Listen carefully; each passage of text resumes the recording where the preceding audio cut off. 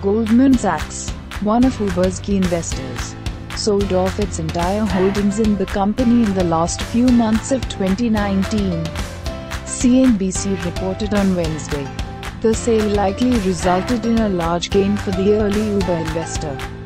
The report added, in the past, Goldman's public and private holdings in companies like Uber and WeWork affected its quarterly results. Subscribe to the channel for more news.